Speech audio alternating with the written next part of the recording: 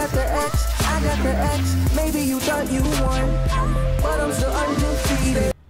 Hey guys, just before this video starts, if any of you guys are looking to buy any keys, crates, items, anything you want, AoEAH.com is a third-party website that literally buys and sells any Rocket League items across any console. If you want to check it out, use the link in the description and use code XYZ on your checkout to receive a discount.